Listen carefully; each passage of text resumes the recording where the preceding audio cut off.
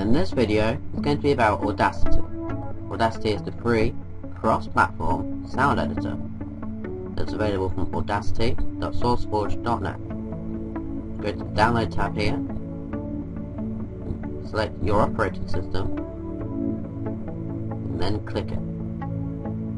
Linux is available from the source code from this site, or search for it in repositories and you can get it from there.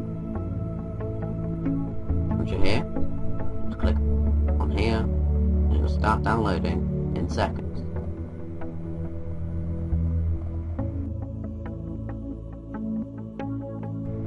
Once you've downloaded, just launch the executable here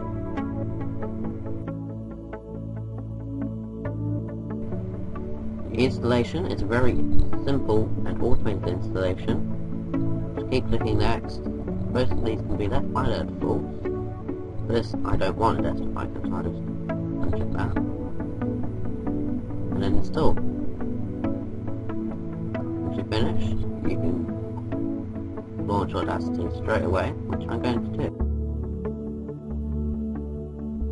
This is the main Audacity interface. Click record, and you can start recording straight away. Record anything that comes out of your microphone, and if you wanted to, your MIDI. Click stop, and then you can click play, pause, and stop this playing. Make new tracks to layer, new times, everything. You can import audio, like music tracks, to edit those. Generate some white noise if you must, and play loads of effects, and edit your audio with them. Very simple, very effective audio tool.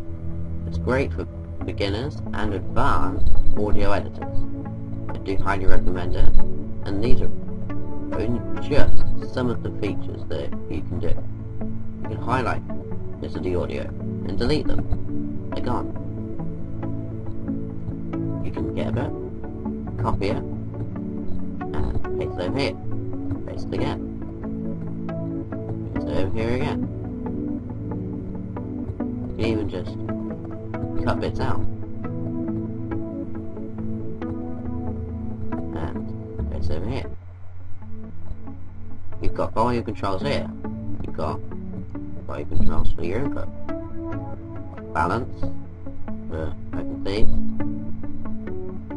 Different tools over here. Audio tracks, properties. Make it mono. Make it on either channel. Change the name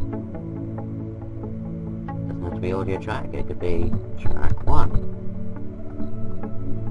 Possibilities for this are almost endless. I do recommend you try it yourself. If you don't like it, it's a very small install. You just uninstall it very quickly. That's been Audacity. Thank you for watching. Okay, that's it for this time. Hope you enjoyed this video. Thank you for watching. Feel free to comment, subscribe, rate, and even go to my blog for the latest news and updates that you cannot find on this channel. Again, thank you for watching and goodbye.